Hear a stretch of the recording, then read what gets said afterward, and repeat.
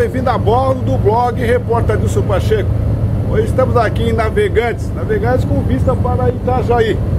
Itajaí que recebe pela quarta vez a regata Ocean Race em abril de 2023.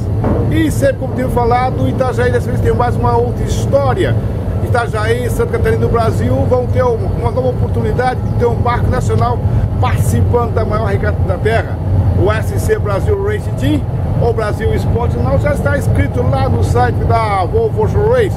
E com isso, novamente o Brasil marca mais um ponto na consolidação do esporte náutico nacional em caráter internacional. E o Regata News e o blog vai estar acompanhando passo a passo dessa trajetória do Brasil nessa edição de 2022 e 2023, que vai ter a participação nacional com o barco SC Brasil Esporte Náutico. E mais ainda, no, nos dias 27 a 30 de janeiro, vai acontecer lá em Florianópolis a 32 circuito oceânico da ilha de Santa Catarina.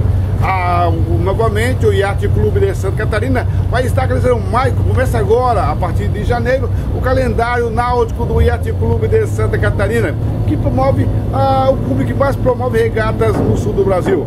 É um clube point, um clube que realmente abraça o esporte por inteiro.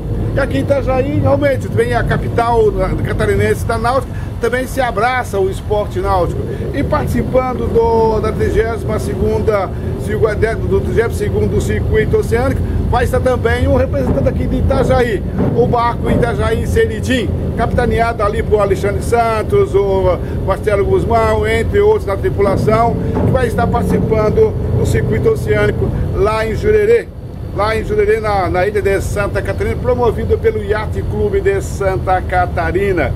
E uma coisa boa em termos de esporte aquático e esporte náutico, também por também esporte aquático, o polo náutico em, em Sergipe cresce. O polo aquático nacional registra diversos projetos direcionados à prática da modalidade na maior parte do país. As atividades nas piscinas brasileiras têm o intuito de fomentar o esporte e trazer mais praticantes. No Nordeste, por exemplo, uma das entidades que mais se destaca é a AMPA, Associação de Polo Aquático, criada em 2002 por jogadores. E para este ano, um dos projetos que ocorre agora em 2021 em Aracaju, Sergipe, é o Polo Aquático de Verão, desenvolvido pela Associação Polo Náutica Local, juntamente com a Secretaria de Estado, Governo do Estado, que começa a partir do dia 5, começou dia 5 e vai até o dia 12 de janeiro. As atividades contam com mais de 60 jovens entre 6 a 18 anos de idade. Os números de participantes têm aumentado a cada dia. Possivelmente se encerrará com aproximadamente 80 crianças participando do polo aquático lá em Sergipe. Uma outra coisa boa agora no início do ano foi que a Marina Itajaí é a primeira do Brasil a receber a ISO 14001, 14001 e com isso, mais uma vez, Itajaí é jogado no mercado internacional.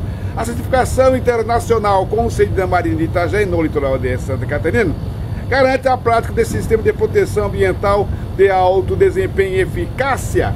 Após a rigorosa auditoria, a Marinha de Itajaí se tornou o primeiro centro náutico turístico e atração de embarque do Brasil a receber a certificação internacional AES 14001 em 2015, relacionar ao sistema de gestão ambiental. O selo consiste em uma série de processos e práticas para identificar, controlar, administrar e reduzir os impactos ambientais em todas as operações da Marina. Também padroniza ações que, para que estejam bem, bem em conformidade com a política ambiental da empresa, a prevenção, a poluição e o apoio ao desenvolvimento socioeconômico da região. Estou lendo aqui que é relacionar o sistema de gestão ambiental. Pois é, lembro quando a, na imputação da Marinha Itajaí a grande divergência entre quem defendia a Marina e os ambientalistas que a Marina iria poluir o rio Itajaí Sul. E agora nós vemos que a Marina está é, recebendo é, a primeira, a primeira, a primeira certificação internacional é, da ISO que qualifica a Marina entre as grandes marinas mundiais. Ou seja, às vezes é preciso haver um pouquinho mais de ponderação entre os ecologistas e os empreendedores.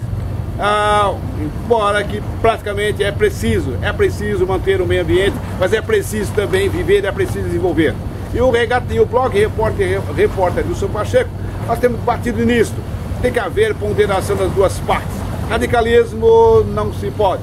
Vemos que hoje a Marina, que fica aqui mais à frente, mudou radicalmente o perfil do centro de Itajaí. Jogando Itajaí não somente dentro de uma regata internacional, como hoje participa, como também a Marina hoje é inserida dentro do contexto mundial entre as grandes marinas do planeta Terra. Imagina, Itajaí deixou de ser somente aquela cidadezinha portuária e pesqueira para ser um grande polo náutico nacional e internacional. Basta ver que Itajaí já recebeu três edições da maior regata da Terra, a Ocean Race, já recebeu também por duas edições a regata a maior regata da França, a Transat Sacre E com isso a cidade cada vez mais vem se consolidando como grande polo náutico nacional e internacional. E mais ainda agora, com esse barco que foi inscrito ah, na próxima edição da Ocean Race, o Brasil Race Team. Em suma, é, tudo isso mexe com a economia local. Basta vermos que na parada anterior da Ocean Race, por exemplo, em 2018, Itajaí abocanhou nada mais, nada menos em termos, de em termos de faturamento na economia local, em torno de 83 milhões de reais.